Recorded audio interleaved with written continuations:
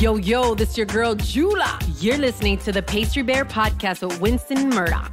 Hola, hola, esta es Jula. Estás escuchando el Pastry Bear Podcast con Winston Murdoch.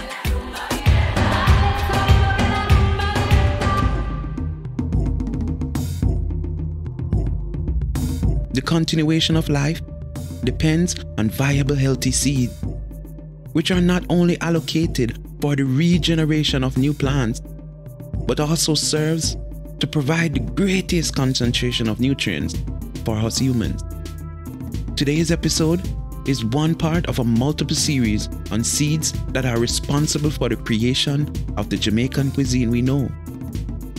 What up, y'all? And welcome to another episode of the Pastry Bear Podcast. I'm your host, Winston Murdoch.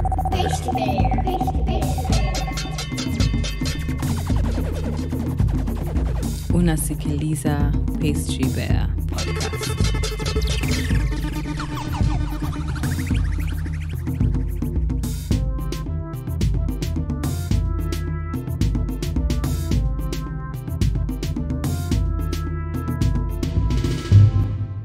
Seeds play a vital role in the human diet as food.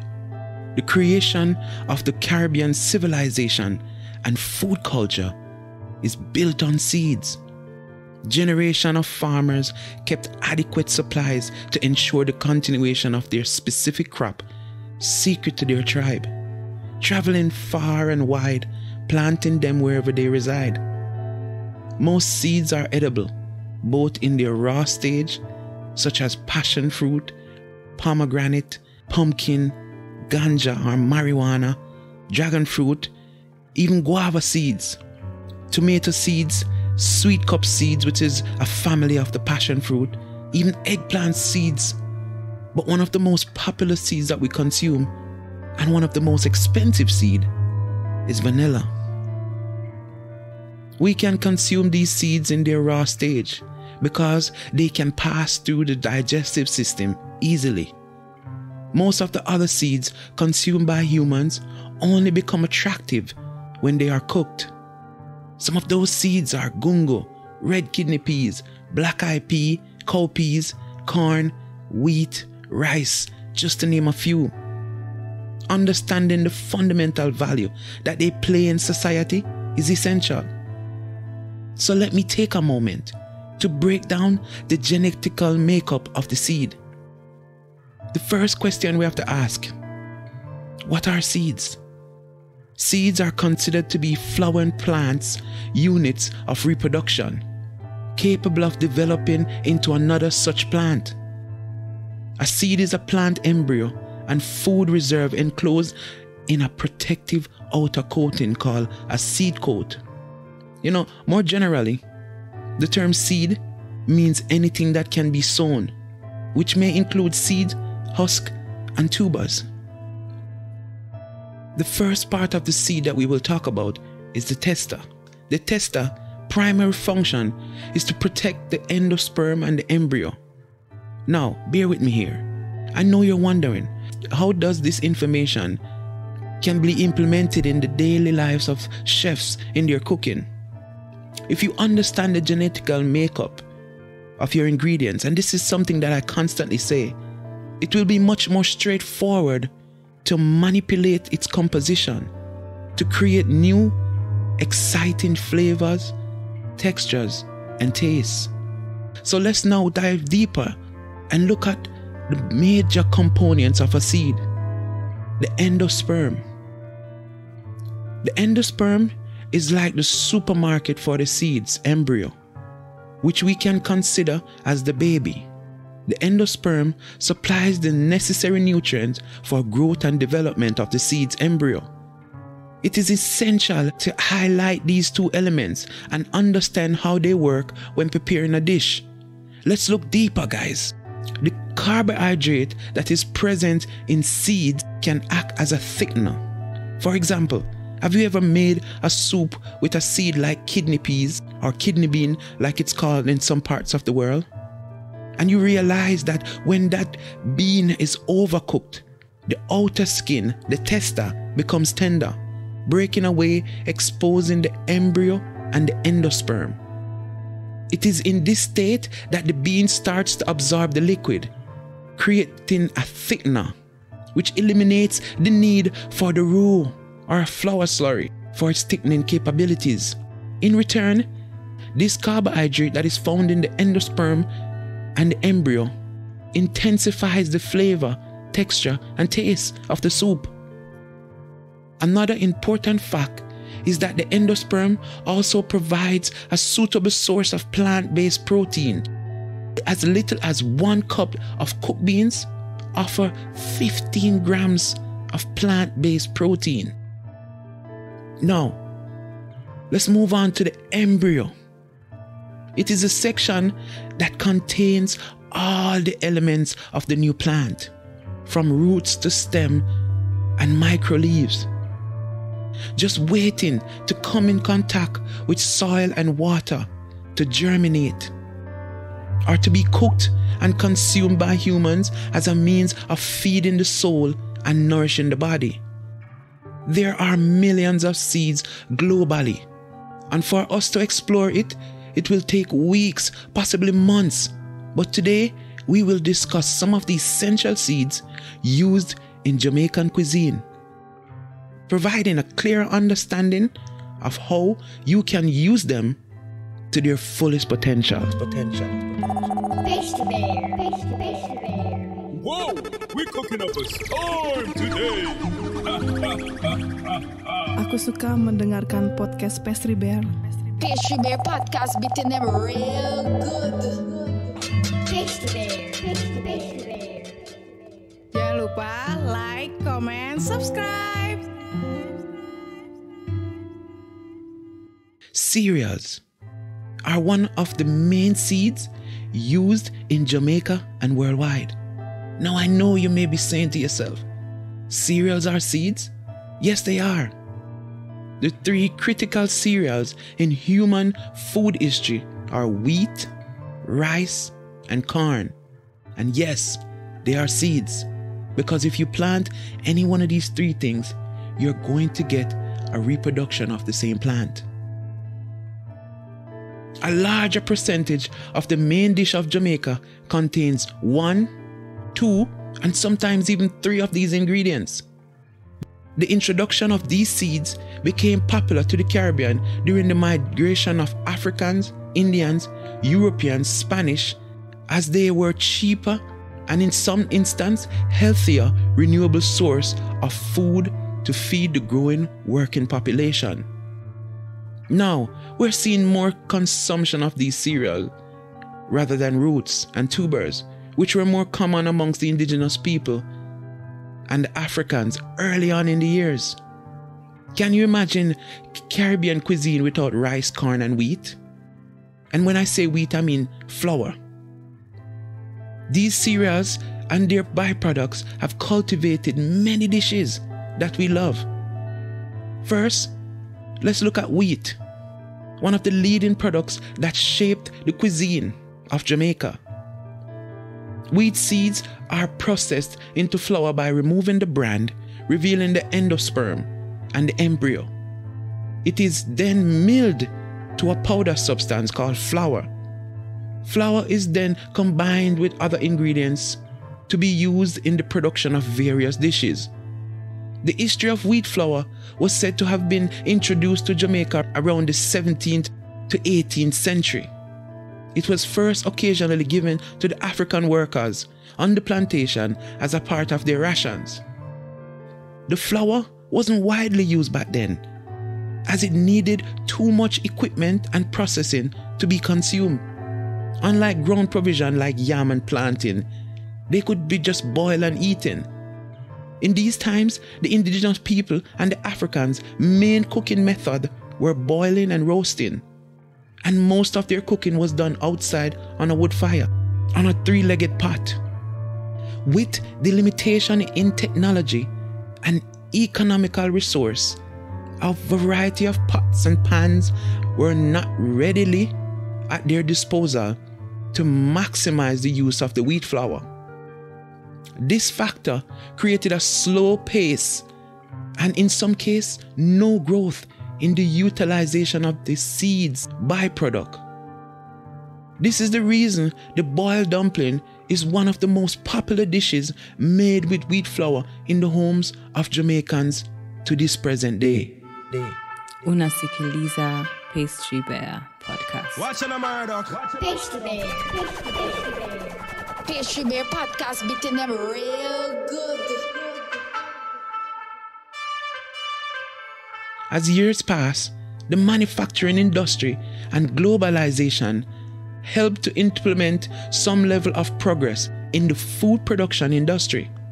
The introduction of leveling agents, raising agents, brick ovens, various fats, oils, sweeteners, and flavoring agents has created a steady growth in the use of wheat flour, allowing the production of items such as Excelsior water crackers, cocoa bread, patty, rock cake, spice bun, puddings, ginger bulla, donut, cookies, and the infamous hardo bread. The very dense, thick crust white loaf takes its name from the structure and composition of the bread. Its hardness has made its way into the diet of Jamaicans since as early as possibly 18th to 19th century. Its popularity has increased over the next hundred years. Taste, texture, and size, cost, and presentation has seen tremendous change. Unlike breads from Europe that explored producing a more aerated, soft, elastic internal structure and a crispy external crust, the hardo bread main texture is compact and collapse and lose its shape when squeezed, making it solid. While we have seen a vast use of wheat flour in the manufacturing industry, the homes of the locals have yet to see much change. Studies have shown that bread from wheat flour and rice, which is the next seed we will discuss, is a staple that cannot be replaced. As a matter of fact, in 1988, it was reported that Jamaica could not wean from the product of wheat flour, no matter the price increase. And if you view the shopping carts or the menu on the local restaurant cook shops, soups isn't a soup without dumpling. Jerk chicken can't be served without a slice of bread. Fried fish is never served without festival.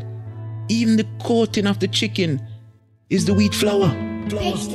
Pastry Bear podcast beating them real good. Selamat datang di Pastry Bear Podcast. Watching a Murdoch. Yo, why you are on the cut in the murder? And the Lord Wakute Podcast Distributor. Pastry Bear. Pastry Bear.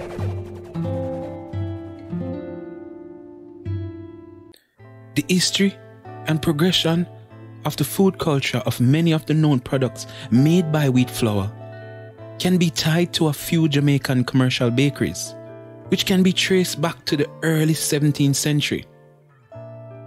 At this time, the wheat flour used was of a lesser quality and produced a more inferior product that struggled to sell. This in turn caused many of the wheat products that was consumed on the island to be imported, which resulted in a decline in many of the bakeries. The unfavorable conditions surrounding wheat created a challenge. You see, it was difficult for it to transport because it was coming from American and other international markets, and it was also a challenge to store. So then, there was the initiation of the incorporation of the Jamaica Flour Mill Limited in 1964 to improve the quality of the flour, which would enhance the quality of the products, increasing productivity and profitability. The new mill was able to import the grain and milled it locally, which produced a higher quality, maximizing its use in various areas. For example, the bran that was removed from the grain was used into livestock feed. Before then, some of the critical flour that were imported were superfine flour or number two, shop flour, baking flour. Work, then these products were then categorized into counter flour, shop grade flour, medium grade flour, and vary in price and quality. Some of the major brands were Knickerbocker, Rip Van Winkle, and Washburn Crosby, gold medal. But Since the inception of the Jamaica Flour Mill, there has been a fast rise in new companies and products. Some of the more notable companies and products are Caribbean made for Lascelles, Caribbean flour for Mossos, Caribbean flour, Baker's Choice for Grace, and Northern King for Geddes Grant. So it's clear to see how such a slight improvement, like the implementation of the Jamaican Flour Mill and the organization of the Bakers Association, changed the trajectory of the use of wheat flour. Jamaica's love for wheat flour products forced bakers to start making more products. In the 20th century, fresh local bagels, oat bran bread, Syrian bread, and pita could be found in supermarket shelves. There was also an increase in the demand for biscuits and cookies, which typically were imported. But one specific biscuit that stood out is a hard, dry biscuit called water crackers. The Jamaican water crackers, which were originated in America, made its way in the diets of the locals through the foresight of the Jamaican Biscuit Company that started its operation in 1911. It was marketed to be a wheat flour product that can be eaten for dinner or lunch, but was mostly consumed for breakfast, or coated with various condiments, or dipped in hot chocolate or tea. In some instances, you see Jamaicans eating it in soup, with fish and vegetables, or even in hot cereals. Excelsior water crackers became the most recognized brand in the space. The Jamaican Biscuit Company continued to create wheat flour biscuits such as 5 o'clock, Honey Girl, Orange Crisp, Ginger Snap. Around the 1920, they launched Victoria Biscuit, Malt Biscuit, and Contingent Biscuit.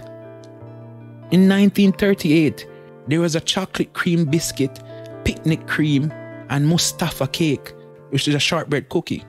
Their victorious run got cut short when National Bakery entered the market. Pastry Bear. Pastry Bear podcast beating them real good. Watching a uppity with no pity, the road carver versatile this a represent. Watching a Murdoch. Pastry Bear. Pastry Bear. Jamaica, like every other country, had found a way to produce cakes from wheat flour. Some were incredible in texture and taste, while others were not so great. Some of the earlier editions of cakes were the triangle cake with jam in the middle, after which they transitioned into buns and gingerbread or bullas. These are more dense and heavy style cakes, hence the reason the bulla is called the bulla cake. The bulla cake introduction to Jamaica can be traced back to the 19th century, where it was known as the Cartman's Hymn Book. A flat, round cake about 10 centimeter in diameter, made from cheap, soft wheat flour, or what is called counter flour, wet sugar, which is heavily saturated with molasses for sweetness and taste. Then they add soda, water, and flavored with ginger. This bulla sometimes had a hole in the center. It was also known as one of the cheapest cake on the market. It became attractive to the poor class. The bulla was made into a smaller version and served in high-end hotels with the French name. In 1960, bulla or bulla cake started to see a change with the addition of baking powder, butter, salt, spices, orange peel, and vanilla, and was paired with buttermilk or avocado. Now we can find bulla in mainly the country areas with a more square shape. After the bulla came the coconut toto, which is another cake. Then you had the rock cookie. Then you had jackass corn, which we will discuss more of in the maize or corn category in a further episode. Emerging in the shadows was the spice bun, a rectangular loaf, moist and heavy, with an array of fruits. Its composition is similar to a hot cross bun, merged with a fruit cake or a black cake. The spice bun had two versions the plain bun that was consumed daily, that also came into a small round dome or a loaf. Then you have the large loaf that is saturated with dry candied fruits that is called Easter bun. There is no way we could discuss the flour product and not talk about cocoa bread and its counterpart, Jamaican patty. The flaky dough filled with seasoned force meat is probably one of the most popular wheat byproduct globally. Patty was introduced to Jamaica around the late 17th to early 18th century. They were made in round pie-like pans, stuffed with forcemeat, after which it adopted an English influence where its shape changed to a half a circle or resembled an empanada. For the next 300 years, the patty has seen some change in shape, taste, and filling. And it is one of the most dominant product on the market. It was easily to manipulate the texture by adding fat to the flour. And the fat that was typically used back then was called suet, which is the beef fat that is present around the liver or the kidney. This fat was able to hold a higher temperature and created a more flakier dough. Presently, we're seeing the bakeries using shortening, margarine, and some are even using pork lard to create that texture. Texture, texture. Yo, why you are run the cut in a murder? Got the lard Whoa, we're cooking up a storm today. Waktu podcast Pastry Bear. Aku suka mendengarkan podcast Pastry Bear. Pastry Bear. Pastry Bear. Jangan lupa like, comment, subscribe. Thank you for listening to another episode of the Pastry Bear Podcast. Please join us next week as we continue to discuss more of the seeds that are responsible for the creation of the Jamaican cuisine. Please follow us at Pastry Bear TV on Instagram and follow us on Pastry Bear TV on YouTube. Follow, like, share, tell somebody about this program. My mission is to help to elevate the Jamaican cuisine and make it more popular, and I'm doing it by education and entertainment. Listen, guys, we need the support. We need the continual support to help to elevate this cuisine because it is necessary for the future of the younger generation. And it is my responsibility to do whatever it takes to bring forth this message.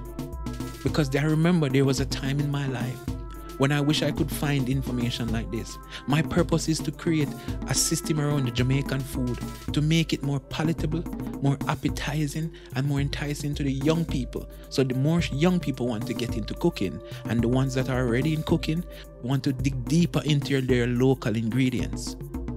I realize that a lot of young chefs are there and they want to learn about food. They want to learn about the cuisine, but there's no system set around the cuisine. And I want to help to create a system around it. So if there's anyone out there listening to this podcast and you feel like you can assist us in this venture, please send me an email at pastrybearco at gmail.com. Again, pastry, P A S T R Y B E A R C O at gmail.com. Or you can email me at T H E R H H G R O U P at gmail.com. Thank you. Pastry Bear. Pastry Bear.